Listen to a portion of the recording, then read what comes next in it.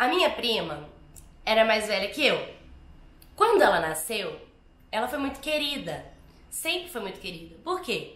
Ela era a primeira neta, a primeira bisneta, a primeira sobrinha, a primeira prima. E ela se tornou um grude com a minha mãe. Um grude, muito grude. No qual, quando eu nasci, cinco anos depois, eu sentia que a minha mãe gostava muito dela como se ela fosse minha irmã. E acabava que eu amava ela do mesmo nível. Então eu via ela como uma irmã mais velha. Às vezes até tinha um pouco de ciúmes dela com a minha mãe, com os meus pais, com a minha avó. Mas eu entendia. Bom, quando eu tinha mais ou menos uns 7 aninhos de idade, ela tinha 12.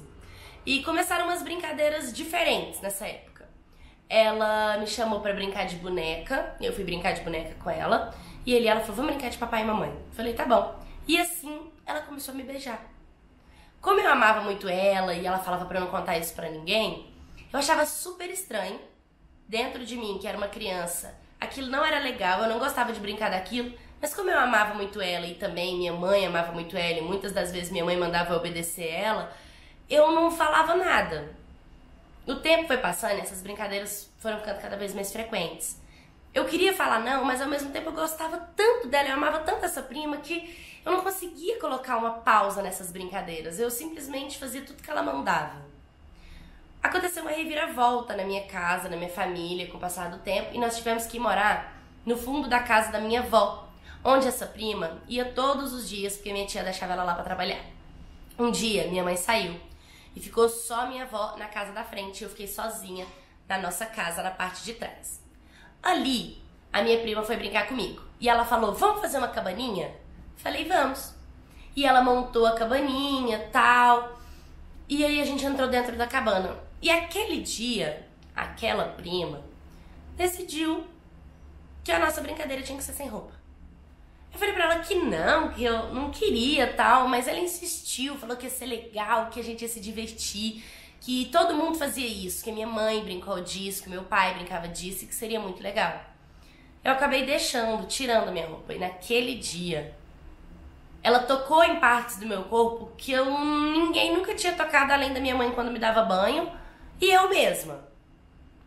E ela passou a boca dela em muitas partes. E eu achei muito estranho aquela brincadeira e eu não gostei. E eu falei pra ela que eu não gostei. E ela pediu para não contar para ninguém, que se contasse para ninguém ela não ia gostar mais de mim. A partir daquele dia, eu tornei a nossa amizade um pouco mais distante. Eu fiquei com medo dela. Não queria mais estar junto, não queria mais estar perto e morria de medo de ficar sozinha. Eu tinha medo de estar pelada numa hora dessa, minha mãe chegar e ainda brigar comigo. Então eu tinha medo das atitudes dela. E como ela pediu para não contar para ninguém, parecia que eu tava fazendo algo muito errado. E mesmo eu me afastando bastante dela, a minha mãe nunca percebeu. O tempo foi passando, eu fui me tornando pré-adolescente e eu comecei assim, tudo que ela gostava, eu tentava não gostar para parecer que o que ela gostava eu não gostasse, pra gente tomar rumos diferentes da nossa vida. E eu comecei a me tornar uma pessoa que às vezes eu não era, só para não estar tá perto dela, só para não ficar sozinha com ela, isso foi me tornando uma pessoa amarga.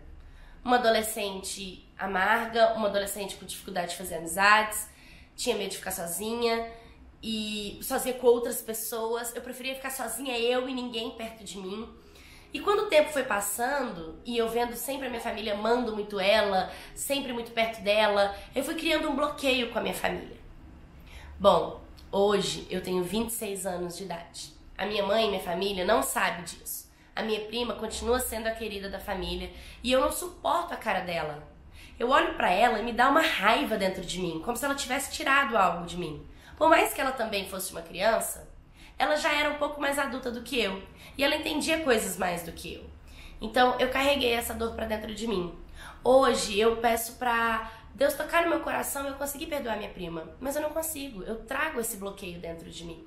A única coisa que eu penso é que se minha mãe tivesse me dado um pouquinho mais de educação sexual, tivesse conversado comigo o que pode, o que não pode, tivesse me dado a confiança dela como mãe, eu teria contado que minha prima estava brincando com, comigo daquele jeito e talvez teria tudo sido resolvido. Mas hoje o que me resta é ensinar as minhas filhas a não fazerem isso e o que é certo e o que é errado. Oi, My Cats! Tudo bem com vocês? Bom, hoje nós vamos falar de um trauma. Traumas infantis que eu quero dizer para vocês é que ali é uma diferença de idade bem pequena. Uma criança que tem 7 anos de idade, ela sabe menos do que uma criança que tem 12, certo? Certo. Porém, a criança de 12 anos tá numa fase de descoberta. Ela tá numa fase de curiosidade. Ela tá numa fase de despertar. E se ela também não tiver uma base estrutural, uma educação sexual dentro de casa, para ela ela tá agindo por instinto. Essa prima pode ser que ela não estava com maldade, ela só queria brincar, ela só queria tocar, ela só queria fazer o que o corpo dela estava pedindo, como uma pré-adolescente faz. E talvez ela não sabe a consequência que ela causou na prima menor. Talvez hoje ela não faça ideia do que por que a prima não goste dela. Ou às vezes ela até sabe o que que ela fez, mas ela sabe que ela não queria isso, que ela era uma criança e que ela agiu por instinto de criança e tem vergonha de pedir desculpa, de conversar sobre o assunto, de entrar nesses detalhes, porque quando a gente amadurece, que a gente olha para nossa infância e vê coisas sexuais que a gente fez, dá um pouco de vergonha. Não é passando pano para a prima dela. Não é que a prima dela esteja, ai meu Deus, ela é certa? Não, ela não fez certo. Só quer dizer que ela também era uma criança e que ela também pode ser que não tenha tido nenhum tipo de conselho, de ajuda, de educação sexual. E pelo contrário, pode ser que dentro da casa dela isso era normal. Dentro da casa dela, o pai dela e a mãe dela fazia isso na frente dela. Então ela projetava isso. Um pré-adolescente, ele não tem noção 100% do que ele está fazendo. Só que por ele ser mais velho, ele fica com a responsabilidade maior. Por isso mesmo que ela era criança, ela culpa a priminha que era mais velha. Mas na verdade, eram duas crianças brincando e uma descobrindo coisas no corpo de uma menor que ainda não estava preparada para passar por essa curiosidade. Bom, eu quero que você, dona da história, você abra o seu coração, que você chegue na sua prima, que você converse com ela, que vocês relembre desse passado e fala para ela que isso te traumatizou, que isso te machucou, que isso te fez ser uma pessoa fechada, mas esteja aberta para evoluir, para perdoar e também para ser perdoada. É isso, gente. Eu espero que vocês tenham gostado do vídeo de hoje. Se vocês também já passaram por essa experiência, me mande, curta, comenta, compartilha, se inscreva no canal. Mil beijos e até o próximo vídeo.